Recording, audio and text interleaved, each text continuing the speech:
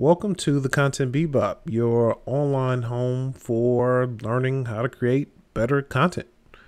On today's episode, I will be showing you how to add music and sound effects to your video in Adobe Premiere Pro. Um, I am using, by the way, Adobe Premiere Pro 2022.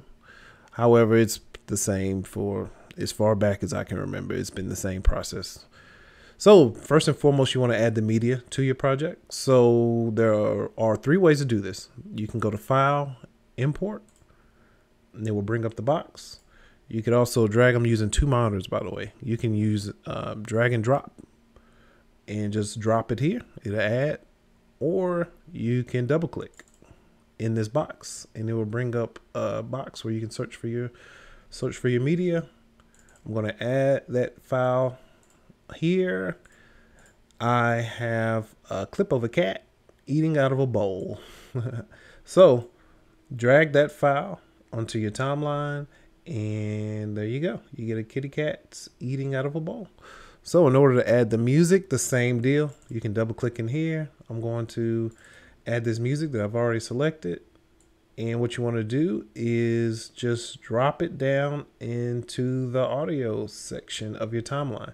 If you'll notice, these first three by default are your video, and these three are your audio down here by default. And once it's there, you have music on your timeline.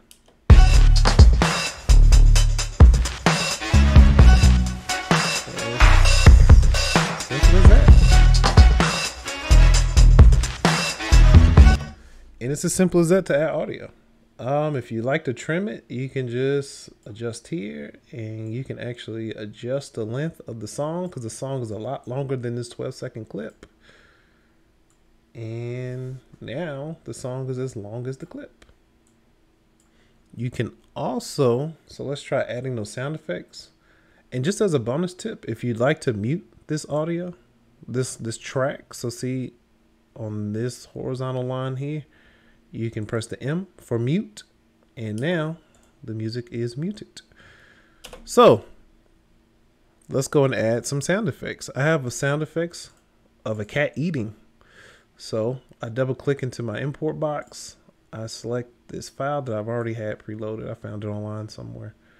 Um, and it's the sound effect of a cat eating. So let's add that. And that's how you add a sound effect.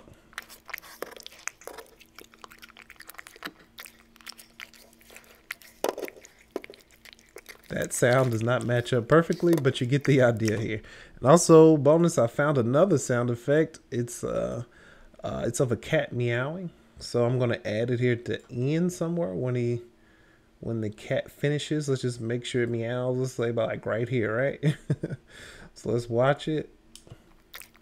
The eating stops. Oh, that's so cute. All right.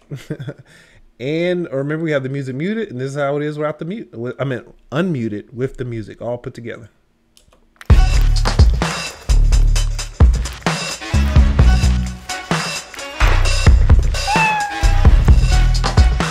Oh, and there's a bonus tip because that music is very loud. What you want to do is you can come up here. There are two ways to adjust this audio. So you can right click here, audio gain, adjust gain, and what you want to do is click negative. Uh, you know, uh, it, by it's hard to really tell, but I'm going to estimate because I've done it a few times. Let's just say negative 15. Let's try there. Let's see how it sounds now.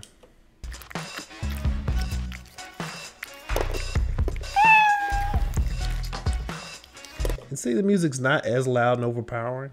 Another way you could do it to get a little bit more control than just guessing at the audio levels, you can go to your audio tab in Adobe Premiere. Give it a moment to load.